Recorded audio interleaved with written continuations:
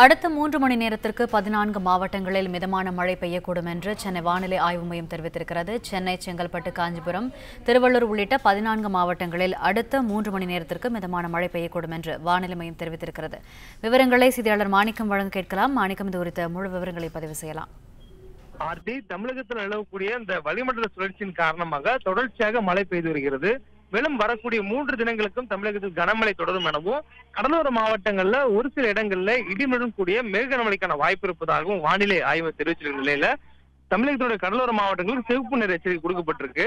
இந்த நிலையில நைட்டு இரவு முழு இரவு முழுவதுமே பெய்த இந்த தொடர் மழையின் காரணமாக பல்வேறு பகுதிகளில் மழை பெய்திருக்கிறது. அதிகபட்சமாக ஆவடி பகுதிகளில் இருபது சென்டிமீட்டர் என்ற அளவிலும் செங்கல்பட்டு மாவட்டம் மாமல்லபுரத்துல பதினெட்டு சென்டிமீட்டர் அளவிலும் மழையானது பதிவாகி இருக்கிறது. ஏறக்கூடிய பல்வேறு பகுதிகளில் மிக கனமழை பதிவாகக்கூடிய சூழல்ல வரக்கூடிய மூன்று மணி நேரத்திற்கும் தொடர்ந்து மழையானது பெய்யக்கூடிய ஒரு வாய்ப்பு இருப்பதா வானிலை ஆய்வு தெரிவிச்சிருக்காங்க.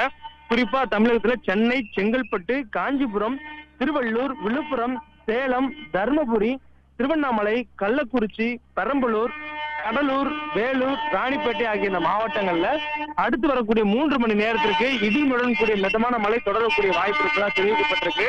மேலும் இந்த மழையானது கனமழை என்ற அளவிலும் பெய்யக்கூடிய சாத்தியக்கூறுகள் இருப்பதாக தெரிவிக்கப்பட்ட நிலையில இந்த மூன்று மணி நேரத்திற்கு தொடர்ந்து இந்த மழை நீடிக்கும் என வானிலை ஆய்வு குறிப்பிட்டிருக்காங்க.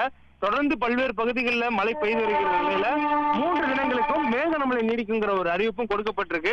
தொடர்ச்சியான மழைக்கான வாய்ப்புகள் இருப்பதனால அதை தொடர்ச்சியா கண்காணித்து வருவதாகவும் இந்த வளிமண்டல சுழற்சியினால வங்கக்கடல்ல இருந்து தமிழக நிலப்பரப்புக்குள்ள வரக்கூடிய இந்த கிழக்கு திசை காற்றினுடைய பலம் அதிகமாக இருக்கும் காரணத்தினால இந்த மழை தொடர்ச்சியா கிடைக்கிறதுனால அதை தொடர்ந்து ஆய்வு செய்து வருவதாகவும் உடனுக்குடன் இந்த மழையினுடைய அளவு எந்த அளவுக்கான தாக்கத்தில் இருக்கும் எனவும் மழையோட வலு எவ்வளவு இருக்கும் என்பதையும் தொடர்ந்து தெரிவிக்க இருப்பதாகவும் வானிலை ஆய்வு தெரிவிச்சிருக்காங்க ஆர்த்தி.